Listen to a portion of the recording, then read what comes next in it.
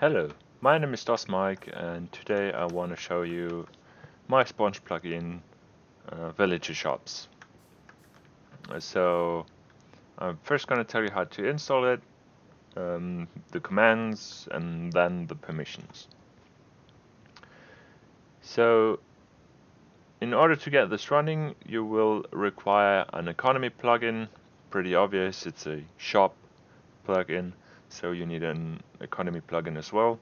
And Villager Shop requires LangSwitch. LangSwitch is required for translations and is linked on the GitHub page and Ore page. Um, if you download Villager Shops, please download it from the release category on the GitHub page because that also contains the translation files. If you download it from the Ore repository, from ore.spongepowered.org, it will not have the translations and it will spam your console about missing translations. Alright, if you got all these three in your mods folder or mods plugins, uh, you should be ready to go.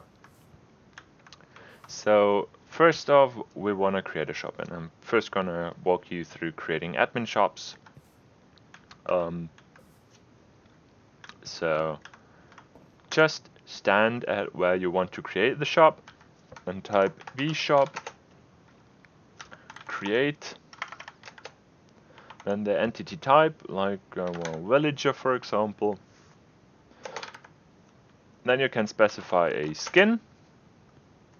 Um, if you want to know what skins are valid just uh, google the type of uh, mob you are spawning. For example, um, I'm spawning a villager. If you go to the uh, Minecraft wiki page for villager, you'll find professions and you can put in these professions as skin here.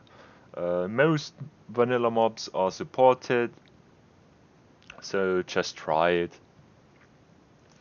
and then you can follow that up by a name. Let's say this shop is Willie's Wool. The chat will tell you that a admin shop was created and that's it basically. You can also create uh, all sorts of funny funny shops like let's say rabbit. And then you have a rabbit shop and for special occasions you can also create a player shop. For this the type is a sponge human and with skin and the player name um, you can give it a player skin. The player has to be online for for this to work.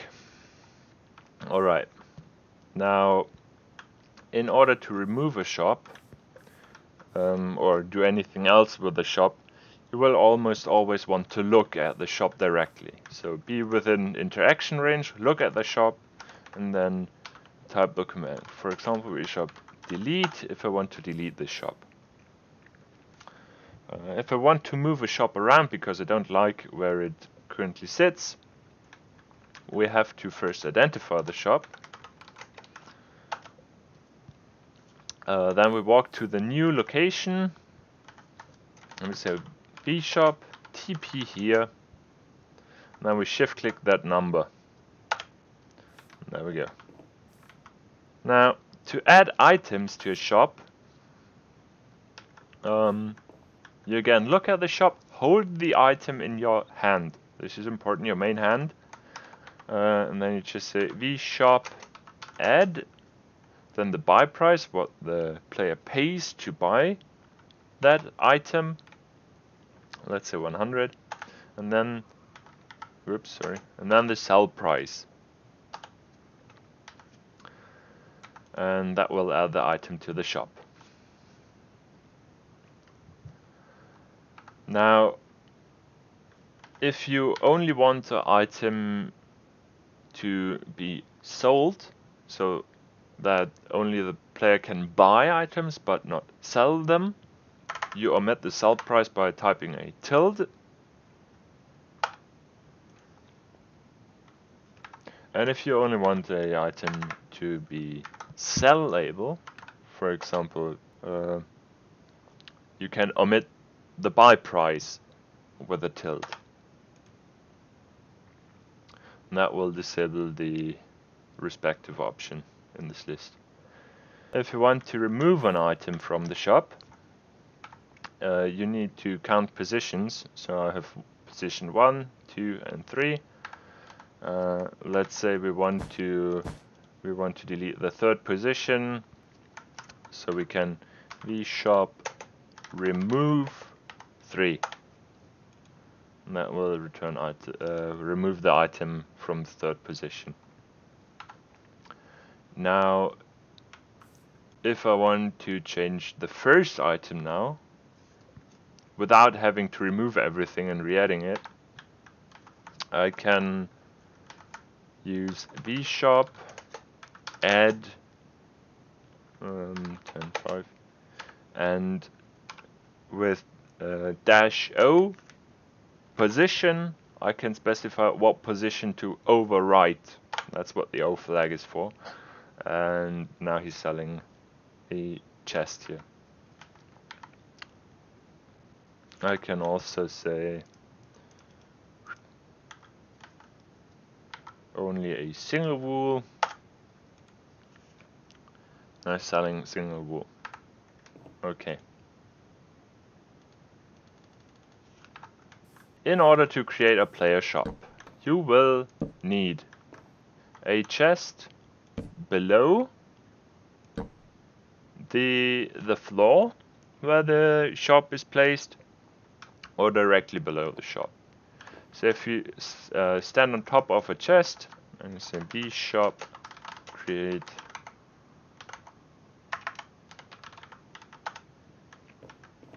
uh, this is now a player shop. Works for this one as well.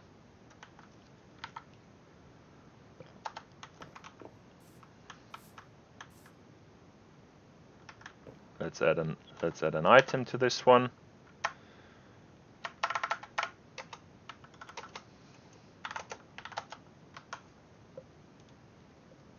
if I sell an item now,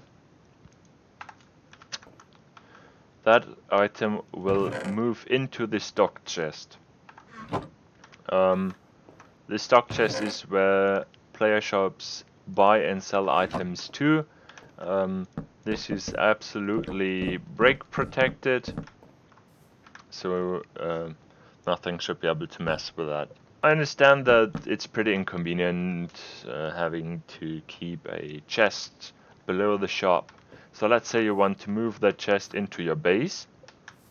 Um, then, granted you have the permission, you just look at the shop and say "shop link, and then open the chest uh, you want to link to.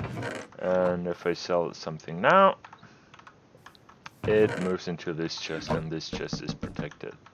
If you, as a player, want to prevent users from filling your stock container with one uh, certain item because you actually just want to buy one uh, Eye of Ender or Nether Star or whatever, you have the option to limit how much your shop takes. With vshop add, uh, we want to buy this rare item in this case, we don't want to sell it. And we limit this with dash L to 1. And now this item has in the tooltip in stock 0 of 1. And if I put the wrong I put the wrong option. Of course we want the user to be able to sell one. I will write two. So if I sell wool now, I can only sell one. You see I messed up here, um, but still I can only sell one wool because now the stock container has one wool and it won't let me sell more. Go shop list and we see a list of all shops currently on the server. Uh, we can TP to shops by clicking on the name. Um, we can open the, the stock inventories of uh, player shops and um, even take, take items out there. Um, if we want list shops for a specific player, just add the player name.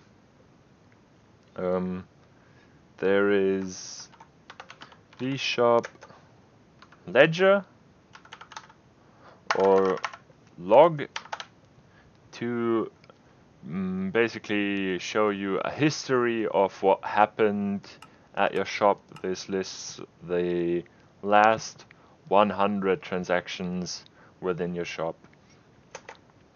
But you can, as admin, of course, look at the logs for other players by appending the name.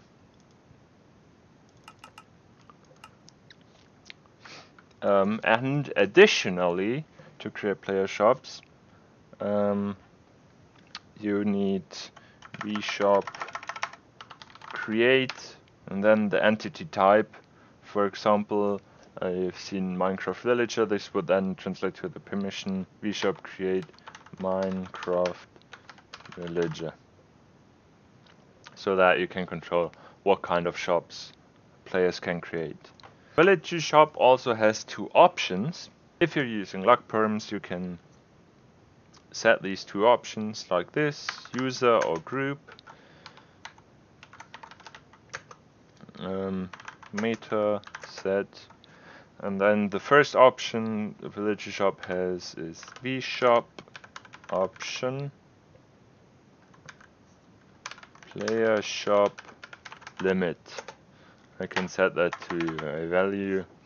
Um, this is to limit how many shops one player or how many player shops one player can create.